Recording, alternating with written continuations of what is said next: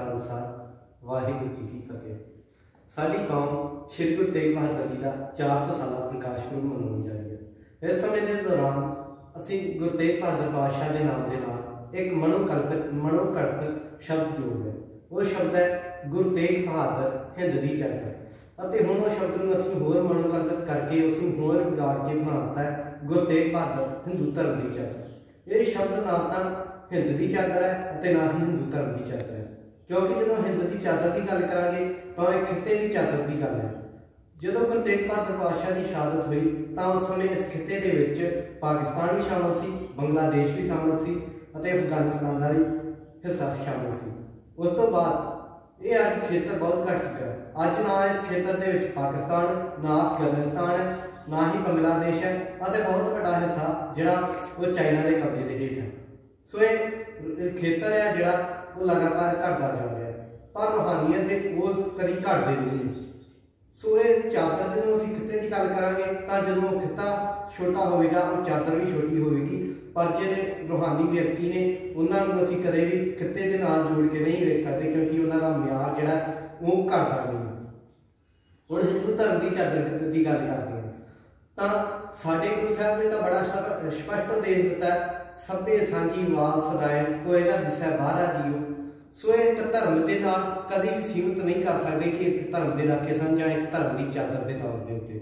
ਦੂਸਰੀ ਗੱਲ, ਕਿ ਹਿੰਦੂ ਧਰਮ ਦੇ ਨਾਲ ਜਿਸ ਜਨੇਊ ਦੀ ਖਾਤਰ ਗੁਰੂ ਸਾਹਿਬ ਨੇ ਸ਼ਹਾਦਤ ਦਿੱਤੀ, ਉਹ ਜਨੇਊ ਦਾ ਪਹਿਲੇ ਜਾਮੇ ਦੇ ਵਿੱਚ ਗੁਰੂ ਸਾਹਿਬ ਨੇ ਨਕਾਰ ਦਿੱਤਾ ਸੀ।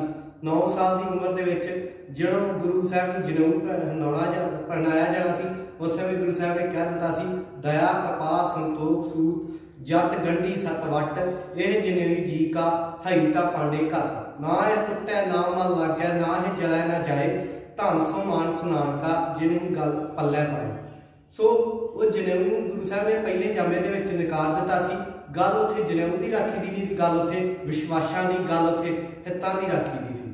ਸੋ ਇਸ ਨੂੰ ਇੱਕ ਧਰਮ ਦੇ ਨਾਲ ਵੀ ਸੀਮਤ ਨਹੀਂ ਕੀਤਾ ਜਾ ਸਕਦਾ। ਦੂਸਰੀ ਗੱਲ, ਤੀਸਰੀ ਗੱਲ ਇੱਕ ਹੋਰ ਇੱਥੇ ਪਾਉਂਦੀ ਹੈ ਕਿ ਜਿਹੜਾ ਇਸਲਾਮ ਧਰਮ ਹੈ ਅਤੇ ਸਿੱਖ ਧਰਮ ਹੈ, ਇਹਨਾਂ ਦੋਹਾਂ ਧਰਮਾਂ ਦੇ ਵਿੱਚ ਜੇਕਰ ਅਸੀਂ ਮੁਲਾਂਕਣ ਇਹਨਾਂ ਦਾ ਕਰੀਏ, ਤਾਂ ਕੁਝ ਸਮਾਨਤਾਵਾਂ ਪੈਦਾ ਹੁੰਦੀਆਂ ਨੇ ਜਦ ਕਿ ਸਿੱਖ ਧਰਮ ਦੀ ਹਿੰਦੂ ਧਰਮ ਦੇ ਨਾਲ ਕੋਈ ਸਮਾਨਤਾ ਜਿਹੜੀ ਹੈ ਪੈਦਾ ਨਹੀਂ ਹੁੰਦੀ। ਹਿੰਦੂ ਧਰਮ ਮੂਰਤੀ ਪੂਜਕ ਹੈ, ਸਿੱਖ ਅਤੇ ਇਸਲਾਮ ਧਰਮ ਮੂਰਤੀ ਪੂਜਕ ਨਹੀਂ ਹੈ। ਇਸੇ ਤਰ੍ਹਾਂ ਇਸਲਾਮ ਅਤੇ ਸਿੱਖ ਧਰਮ ਇੱਕ ਰੱਬ ਨੂੰ ਮੰਨਦੇ ਨੇ, ਜਦ ਕਿ ਹਿੰਦੂ ਧਰਮ ਜਿਹੜਾ 33 ਕਰੋੜ ਦੇਵੀ ਦੇਵਤਿਆਂ ਨੂੰ ਮੰਨਦਾ।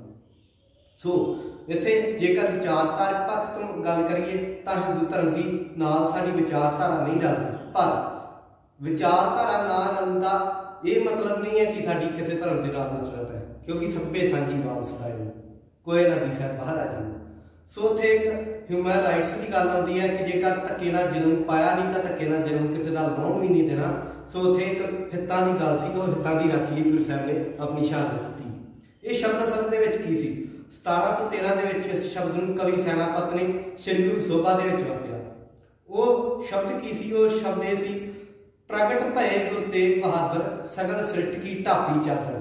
ਕਿ ਉਹ ਸਾਰੀ ਸ੍ਰਿਸ਼ਟੀ ਦੀ ਚਾਦਰ ਨੇ ਉਹਨਾਂ ਨੇ ਸਾਰੀ ਸ੍ਰਿਸ਼ਟੀ ਨੂੰ ਢੱਕਿਆ, ਸਾਰੀ ਸ੍ਰਿਸ਼ਟੀ ਦੀ ਰੱਖਿਆ ਕੀਤੀ। ਸੋ ਇਹ ਮਿਸਾਲ ਅੱਜ ਤੱਕ ਸਾਡੇ ਕੋਲ ਇਤਿਹਾਸ ਦੇ ਵਿੱਚ ਨਹੀਂ ਹੈ ਕਿ ਜਿਹੜੇ ਚੀਜ਼ ਨੂੰ ਪਹਿਲੇ ਜਾਮੇ ਦੇ ਵਿੱਚ ਨਕਾਰਿਆ ਹੋਵੇ, ਉਸੇ ਲਈ ਅਗਲੇ ਜਾਮੇ ਦੇ ਵਿੱਚ ਆ ਕੇ ਸ਼ਹਾਦਤ ਦਿੱਤੀ ਹੋਵੇ। ਠੀਕਰ ਹੋਰ ਦਲੀਲ ਸਿਰ ਪ੍ਰਾਪਰ ਪ੍ਰਾਪਰ ਕੀਓ ਪਿਆ ਸੋ ਗੁਰੂ ਸਾਹਿਬ ਨੇ ਜਿਸ ਚੀਜ਼ ਨੂੰ ਨਕਾਰਿਆ ਉਸੇ ਲਈ ਸ਼ਹਾਦਤ ਦਿੱਤੀ। ਇਹਦਾ ਅਰਥ ਇਹ ਵੀ ਨਹੀਂ ਹੈ ਕਿ ਅਸੀਂ ਉਹ ਚੀਜ਼ ਨੂੰ ਮੰਨਦੇ ਹਾਂ, ਪਰ ਜਿਸ ਦਾ ਜੋ ਉਸ ਚੀਜ਼ ਨੂੰ ਮੰਨਦੇ ਨੇ, ਜਿਨ੍ਹਾਂ ਦਾ ਉਸ ਚੀਜ਼ ਦੇ ਵਿਸ਼ਵਾਸ ਹੈ, ਉਹ ਵਿਸ਼ਵਾਸ ਗੁਰੂ ਸਾਹਿਬ ਨੇ ਟੁੱਟਣ ਨਹੀਂ ਦਿੱਤਾ। ਸੋ ਇਸ ਤੋਂ ਬਾਅਦ ਅਸੀਂ ਗੁਰੂ ਸਾਹਿਬ ਦੇ ਬਾਰੇ ਕੁਝ ਇਤਿਹਾਸਿਕ ਤੱਥਾਂ ਦੀ ਗੱਲ ਕਰਾਂਗੇ। ਗੁਰੂ ਸਾਹਿਬ ਦੀ ਨਵੀਂ ਨਵੀਂ ਸ਼ਾਦੀ ਹੁੰਦੀ ਹੈ, ਮਾਤਾ ਗੁਜਰ ਕੌਰ ਜੀ, ਮਾਤਾ ਗੁਜਰੀ ਜੀ ਦੇ ਨਾਲ। ਉਸ ਤੋਂ ਕੁਝ ਸਮੇਂ ਬਾਅਦ ਕਰਤਾਰਪੁਰ ਸਾਹਿਬ ਵਿੱਚ ਜੰਗ ਹੁੰਦੀ ਹੈ। ਉਸ ਕਰਤਾਰਪੁਰ ਸਾਹਿਬ ਦੀ ਜੰਗ ਦੇ ਵਿੱਚ ਗੁਰੂ ਤੇਗ ਬਹਾਦਰ ਸਾਹਿਬ ਨੇ ਬਾਕਮਾਲ ਆਪਣੇ ਸ਼ਮਸ਼ੀਰ ਦੇ ਯੋਹਰ ਵਿਖਾਏ ਜੰਗ ਦੇ ਵਿੱਚ ਲੜਦਿਆਂ ਇੱਕ ਸਾਨੂੰ ਘਟਨਾ ਮਿਲਦੀ ਹੈ ਉੱਥੇ ਲਿਖਿਆ ਕਿ ਮਾਤਾ ਨਾਨਕੀ ਜੀ ਨੇ ਜਿਹੜੇ ਗੁਰੂ ਤੇਗ ਬਹਾਦਰ ਸਾਹਿਬ ਦੇ ਮਾਤਾ ਜੀ ਸਨ, ਉਹਨਾਂ ਨੇ ਜੰਗ ਵਿੱਚ ਲੜਦੇ ਨਵੇਂ ਵਿਆਹੇ ਤਿਆਗਮਾਲ ਨੂੰ ਸੁਨੇਹਾ ਭੇਜਿਆ ਕਿ ਜੰਗ ਵਿੱਚ ਲੜਨਾ ਵੱਡਿਆਂ ਦਾ ਕੰਮ ਹੈ, ਤੁਹਾਡੀ ਉਮਰ ਅਜੇ ਛੋਟੀ ਹੈ, ਤੁਸੀਂ ਵਾਪਸ ਆ ਜਾਓ। ਤਾਂ ਉਸ ਸਮੇਂ ਗੁਰੂ ਤੇਗ ਬਹਾਦਰ ਸਾਹਿਬ ਨੇ ਜਵਾਬ ਬੜਾ ਕਮਾਲ ਦਾ ਦਿੱਤਾ, ਗੁਰੂ ਸਾਹਿਬ ਨੇ ਕਿਹਾ ਸੀ ਕਿ ਜੇਕਰ ਸੂਰਮਾ ਜੰਗ ਦੇ ਵਿੱਚ ਲੜਨ ਜਾਵੇ, ਤਾਂ ਦੋ ਹੀ ਹਾਲਤਾਂ ਦੇ ਵਿੱਚ ਵਾਪਸ ਆਉਂਦਾ ਇੱਕ ਤਾਂ ਜੇਤੂ ਜਰਨੈਲ ਦੇ ਰੂਪ ਦੇ ਵਿੱਚ ਜਾਂ ਦੂਸਰੀ ਗੱਲ ਉਸ ਦਾ ਸ਼ਹਾਦਤ ਤੋਂ ਬਾਅਦ ਉਸ ਦੀ লাশ ਘਰੇ ਹੁੰਦੀ ਹੈ। ਮਰਦ ਕਦੇ ਵੀ ਜੰਗ ਨੂੰ ਮਤਲਬ ਚਾਲੇ ਛੱਡ ਕੇ ਨਹੀਂ ਆਉਂਦੇ। ਉਹ ਜਾਂ ਜੰਗ ਜਿੱਤ ਕੇ ਆਉਂਦੇ ਨੇ, ਜਾਂ ਜੰਗ ਵਿੱਚ ਸ਼ਹੀਦ ਹੋ ਕੇ ਉਹਨਾਂ ਦੀ ਲਾਸ਼ ਕਰ ਹੁੰਦੀ ਹੈ। ਸੋ, ਇਸ ਤੋਂ ਬਾਅਦ ਗੁਰੂ ਸਾਹਿਬ ਦਾ ਨਾਮ ਤਿਆਗ ਮਤ ਤੋਂ ਤੇਗ ਬਹਾਦਰ ਛੇਵੇਂ ਪਾਤਸ਼ਾਹ ਨੇ ਰੱਖ ਦਿੱਤਾ। ਸ਼੍ਰੀ ਗੁਰੂ ਹਰਗੋਬਿੰਦ ਸਾਹਿਬ ਨੇ ਰੱਖ ਦਿੱਤਾ। ਹੁਣ ਜਦੋਂ ਗੁਰੂ ਸਾਹਿਬ ਦੀ ਸ਼ਹਾਦਤ ਹੋਈ, ਉਸ ਸਮੇਂ ਸ਼ਹਾਦਤ ਦੇ ਸਮੇਂ ਕਾਜੀ ਬਹਾਦੁਰ ਜਿਹਨੇ ਗੁਰੂ ਸਾਹਿਬ ਨੂੰ ਸ਼ਹਾਦਤ ਦਾ ਹੁਕਮ ਦਿੱਤਾ। ਉਸ ਸਮੇਂ ਔਰੰਗਜ਼ੇਬ ਜਿਹੜਾ ਸੀ ਉਹ ਦਿੱਲੀ ਦੇ ਵਿੱਚ ਨਹੀਂ ਸੀ, ਇਸ ਕਰਕੇ ਸਾਰਾ ਉਸ ਸਮੇਂ ਵਹਾਬੂਦੀਨ ਨੇ ਜਿਹੜਾ ਸਾਰਾ ਉਸ ਸਮੇਂ ਸਿਲਸਿਲਾ ਚਲਾਇਆ। ਵਹਾਬੂਦੀਨ ਨੇ ਗੁਰੂ ਸਾਹਿਬ ਨੂੰ ਤੇ ਇੱਕ ਸਵਾਲ ਕੀਤਾ। ਗੁਰੂ ਸਾਹਿਬ ਨੂੰ ਕਿਹਾ ਕਿ ਤੁਸੀਂ ਆਪਣੀ ਜਾਨ ਬਚਾ ਸਕਦੇ ਹੋ। ਤੁਹਾਨੂੰ ਤਿੰਨ ਆਪਸ਼ਨ ਦਿੱਤੀਆਂ ਜਾਂਦੀਆਂ ਨੇ, ਤਿੰਨ ਕਾਫ ਗੁਰੂ ਸਾਹਿਬ ਦੇ ਸਾਹਮਣੇ, ਤਿੰਨ ਕੱਕੇ ਕਾਜੀ ਨੇ ਪਹਿਲਾ ਕੱਕਾ ਸੀ ਕਲਮੇ ਕੁਰਾਨ ਦੂਜਾ ਕੱਕਾ ਸੀ ਕਮਾਲੇ ਕਰਾਮਾਤ, ਅਤੇ ਤੀਸਰਾ ਕੱਕਾ ਸੀ ਕਤਲ। ਗੁਰੂ ਸਾਹਿਬ ਨੇ ਕਿਹਾ, ਜੇਕਰ ਮੈਂ ਪਹਿਲਾ ਕੱਕਾ ਚੁਣਦਾ ਹਾਂ, ਤਾਂ ਕਮਾਲੇ ਕਲਮਾ ਕੁਰਾਨ। ਮੈਂ ਕੁਰਾਨ ਪੜ੍ਹ ਕੇ ਤੁਹਾਡੇ ਧਰਮ ਦੇ ਵਿੱਚ ਆ ਜਾਵਾਂਗਾ। ਮੇਰੀ ਆਉਣ ਵਾਲੀ ਪੀੜ੍ਹੀ ਜਿਹੜੀ ਆ ਸਿੱਖ ਧਰਮ ਦੇ ਮੁਨਕਰ ਹੋ ਜਾਵੇਗੀ। ਮੇਰਾ ਸਿੱਖ ਧਰਮ ਦੀ ਸਰੀਰਕ ਮੌਤ ਹੋ ਜਾਵੇਗੀ। ਕਿ ਸਾਡਾ ਗੁਰੂ ਮੌਤ ਤੋਂ ਡਰ ਕੇ ਦੂਸਰੇ ਧਰਮ ਦੇ ਵਿੱਚ ਚਲਾ ਗਿਆ ਸੀ, ਅੱਗੇ ਮੇਰਾ ਧਰਮ ਨੂੰ ਜਿਹੜਾ ਤੁਰੇਗਾ। ਉਸ ਤੋਂ ਬਾਅਦ ਦੂਸਰਾ ਕਹਿੰਦੇ, ਜੇ ਤੁਹਾਡਾ ਦੂਸਰਾ ਕੱਕਾ ਮੈਂ ਚੁਣਦਾ ਹਾਂ, ਕਮਾਲੇ ਕਰਾਮਾਤ, ਤਾਂ ਮੇਰੇ ਉਮਤ ਦੀ, ਮੇਰੀ ਆਉਣ ਵਾਲੀ ਪੀੜ੍ਹੀ ਦੀ ਆਤਮਿਕ ਮੌਤ ਹੋ ਜਾਵੇਗੀ ਕਿ ਗੁਰੂ ਸਾਡਾ ਇਨਾ ਡਰਾ ਡਰਪੋਕ ਸੀ ਕਿ ਉਸਨੇ ਮੌਤ ਦੇ ਡਰ ਤੋਂ ਆਪਣਾ ਜਿਹੜਾ ਮਾਨਸਿਕ ਪੱਧਰ ਸੀ, ਆਪਣਾ ਮਾਨਸਿਕ ਸਥਿਤੀ ਉਸ ਨੂੰ ਕੁਰਬਾਨ ਕਰ ਦਿੱਤਾ ਤੇ ਕਰਾਮਾਤ ਵਿਖਾ ਕੇ ਆਪਣੀ ਜਾਨ ਬਚਾ ਲਈ। ਇਸ ਲਈ ਕਹਿੰਦੇ ਮੈਂ ਤੁਹਾਡਾ ਤੀਸਰਾ ਕੱਕਾ, ਜਿਹੜਾ ਉਹ ਚੁਣਾਂਗਾ ਕਤਲ, ਕਿਉਂਕਿ ਜੇ ਮੈਂ ਪਹਿਲਾ ਕੱਕਾ ਚੁਣਦਾ, ਮੇਰੇ ਉਮਤ ਦੀ, ਮੇਰੇ ਧਰਮ ਦੀ ਸਰੀਰਕ ਮੌਤ ਹੁੰਦੀ ਹੈ, ਜੇ ਮੈਂ ਦੂਸਰਾ ਧੱਕਾ ਚਾਹੁੰਦਾ ਉਸ ਦੀ ਆਤਮਿਕ ਮੌਤ ਹੁੰਦੀ ਹੈ, ਪਰ ਜੇ ਮੈਂ ਤੀਸਰਾ ਧੱਕਾ ਚਾਹਾਂਗਾ, ਤਾਂ ਦੁਨੀਆ ਦੇ ਵਿੱਚ ਮਿਸਾਲ ਪੈਦਾ ਹੋ ਜਾਵੇਗੀ। ਪਹਿਲੇ ਜਾਮੇ ਦੇ ਵਿੱਚ ਜਿਸ ਚੀਜ਼ ਨੂੰ ਨਕਾਰਿਆ ਉਸ ਜਾਮੇ ਦੇ ਵਿੱਚ ਉਹਨਾਂ ਤੇ ਵਿਸ਼ਵਾਸ ਰੱਖਣ ਵਾਲੇ ਦੀ ਖਾਤਰ ਸ਼ਹਾਦ ਸ਼ਹਾਦਤ ਦਿੱਤੀ। ਸੋ ਗੁਰੂ ਸਾਹਿਬ ਨੇ ਉਹ ਆਪਣੀ ਸ਼ਹਾਦਤ ਤਿਲਕ ਜੰਜੂ ਰਾਖਾ ਪ੍ਰਤਾਕਾ ਕੀਨੋ ਵਡੋ ਕਰੂੰ ਮੈਂ ਸਾਕਾ।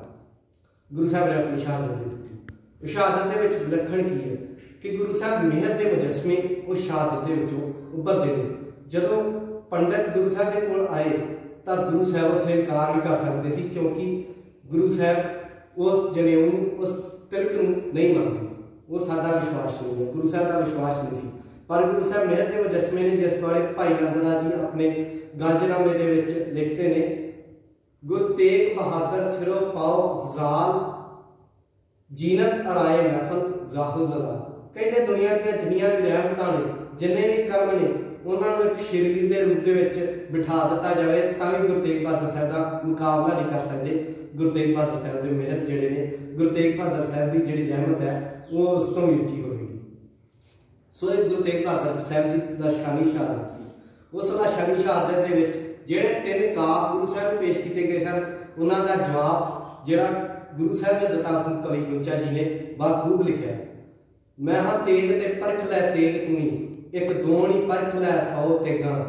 ਮੈਨੂੰ ਤੇਗ ਬਹਾਦਰ ਦਾ ਲਖਤ ਮਿਲਿਆ, ਮੇਰਾ ਕੁਝ ਨਹੀਂ ਸਕਦੀਆਂ ਖੋ ਤੇਗਾ। ਮੈਂ ਜੰਮਦਿਆਂ ਤੇਗਾ ਦੀ ਸ਼ਾਹ ਮਾੜੀ, ਮੇਰੇ ਪਿਤਾ ਨੇ ਪਹਿਨੀਆਂ ਦੋ ਤੇਗਾ। ਮੇਰੇ ਪਿਤਾ ਦੀ ਅਣਖ ਬਹਾਦਰੀ ਤੇ ਰਿਹਾ ਪਰਖ ਦਾ ਤੇਰਾ ਪਿਓ ਤੇਗਾ। ਹੁਣ ਵੇਖੀ ਆਉਣ ਵਾਲੇ ਭਵਿੱਖ ਅੰਦਰ, ਮੇਰੇ ਪੁੱਤ ਨੇ ਵਾਉਣੀਆਂ ਉਹ ਤੇਗਾ, ਉਹਦੀ ਤੇਗ ਚੋਂ ਜਿਹੜੀ ਤੇਗ ਨਿਕਲੂ, ਲੱਖਾਂ ਲਹੂਗੇ ਤੇਰੀਆਂ ਖੋ ਤੇਗਾ। ਉਹਦੀ ਤੇਗ ਚੋਂ ਜਿਹੜੀ ਤੇਗ ਨਿਕਲੂ, ਲੱਖਾਂ ਲਹੂਗੀ ਤੇਰੀਆਂ ਖੋ ਤੇਗਾ ਵਾਹਿਗੁਰੂ ਜੀ ਕਾ ਖਾਲਸਾ, ਵਾਹਿਗੁਰੂ ਜੀ ਕੀ ਫਤਿਹ।